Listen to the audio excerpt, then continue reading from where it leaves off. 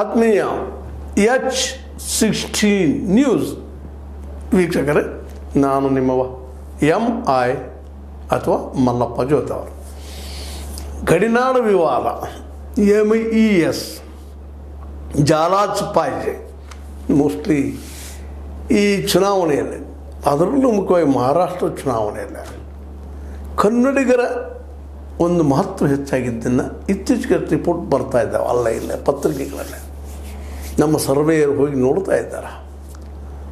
ನಮ್ಮ ಗಮನಕ್ಕೆ ಬಂದಿದ್ದು ಖುಷಿ ಪಡುವಂಥ ವಿಷಯ ಏನಪ್ಪ ಅಂತಂದ್ರೆ, ಬೆಳಗಾವಿ ಈ ವಿಷಯದಲ್ಲೇ ಇವತ್ತಿನ ಎಲ್ಲ ಪ್ರಮುಖ ರಾಜಕೀಯ ಪಕ್ಷಗಳು, ಮುಗಿದೋದ ಅಧ್ಯಾಯ ಎಂ ಇ ಎಸ್ಗೆ ಮೊದಲಿನ ಅಂದ್ರೆ ಮಹಾರಾಷ್ಟ್ರ ಏಕೀಕರಣ ಸಮಿತಿಗೆ, ಮಹಾರಾಷ್ಟ್ರದಲ್ಲೂ ಕೂಡ ಅಲ್ಲಿ ಪ್ರಮುಖ ಪಕ್ಷಗಳು ಬಿ ಜೆ ಪಿ ಆಗಿರ್ಬೋದು, ಕಾಂಗ್ರೆಸ್ ಆಗಿರ್ಬೋದು ಎನ್ ಸಿ ಪಿ ಆಗಿರ್ಬೋದು, ಶಿವಸೇನಾ ಆಗಿರ್ಬೋದು, ಮತ್ತಾರು ಆಗಿರ್ಬೋದು ಅವರ್ಯಾರೂ ಯಾರೂ ಇದಕ್ಕೆ ಆಸ್ಪದ ಕೊಡ್ತಾ ಇಲ್ಲ, ಅದ್ರ ಬಗ್ಗೆ ದಾದ್ ಮಾಡ್ತಾ ಇಲ್ಲ. ಯಾಕಂದ್ರೆ ಗಡಿ ಭಾಗಗಳಲ್ಲಿ ಅಂದರೆ ಹೆಚ್ಚು ಕಡಿಮೆ ಮೂವತ್ತೈದು, ನಲವತ್ತು ಕ್ಷೇತ್ರಗಳಲ್ಲೇ ಕನ್ನಡಿಗರ ದಬ್ದಬಾ.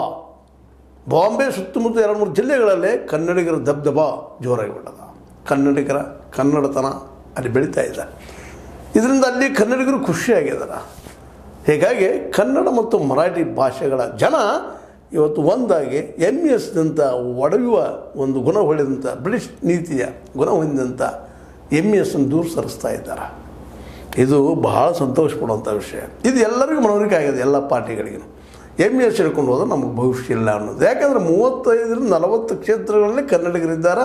ಹೆಚ್ಚು ಕಡಿಮೆ ಎಲ್ಲ ಕ್ಷೇತ್ರಗಳಲ್ಲಿ ಕೆಲವೊಂದು ಹದಿನೈದು ಕ್ಷೇತ್ರ, ಹದಿನೈದು, ಹದಿನಾರು ಕ್ಷೇತ್ರಗಳಲ್ಲಿ ಅಥವಾ ಇಪ್ಪತ್ತು ಕ್ಷೇತ್ರಗಳಲ್ಲೇ ಅತ್ಯಧಿಕ ಪ್ರಮಾಣದಲ್ಲಿ ಕನ್ನಡಿಗರು ಇರೋದರಿಂದ ಸಿಕ್ಸ್ಟಿ ಪರ್ಸೆಂಟ್ ಅಬೌವ್ ಕನ್ನಡಿಗರು ಅಲ್ಲಿ ಒಂದು ಪರಿಣಾಮ ಬೀರೋದ್ರಿಂದಾಗಿ ಈ ರಾಜಕೀಯ ಪಕ್ಷಗಳು, ಯಾವ ರಾಜಕೀಯ ಪಕ್ಷಗಳು ಒಡಕನ್ನುಂಟು ಮಾಡಿ ತಮ್ಮ ಬೇಡಿಯನ್ನು ಬೇಯಿಸ್ಕೊಳ್ತಾ ಇದ್ದವೋ ಆ ಪಕ್ಷಗಳು ಇವತ್ತು ಅದರ ಹಿಂದೆ ಸರಿಯುವಂಥ ಅನಿವಾರ್ಯತೆ ಬಂದಿದ್ದಾವೆ. ಯಾಕಂದ್ರೆ ಕಾಲ ಯಾರ ಮನೆ ಮಾತು ಕೇಳೋದಿಲ್ಲ ರೀ